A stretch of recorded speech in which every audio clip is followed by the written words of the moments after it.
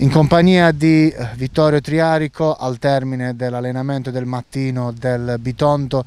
Vittorio innanzitutto come stai e come procede questo ritiro del Bitonto qui a Camerino? Eh, il ritiro procede molto bene, stiamo lavorando tanto, siamo un po' stanchi però questo ci serve per mettere benzina per eh, l'inizio del campionato.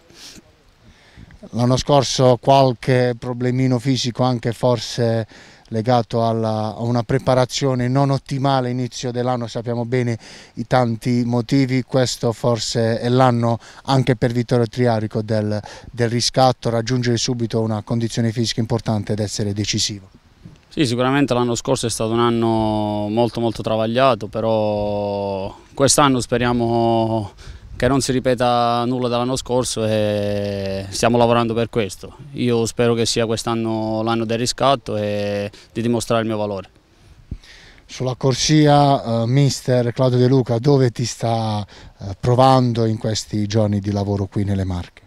Il mister in questo periodo mi sta provando nei tre davanti, a destra, a sinistra, nei tre trequartisti, e però io cerco di dare il massimo e dove il mister mi chiederà di fare un sacrificio lo farò uno dei confermati della scorsa stagione eh, che può sicuramente parlarci di come il gruppo sta crescendo in questo, in questo ritiro.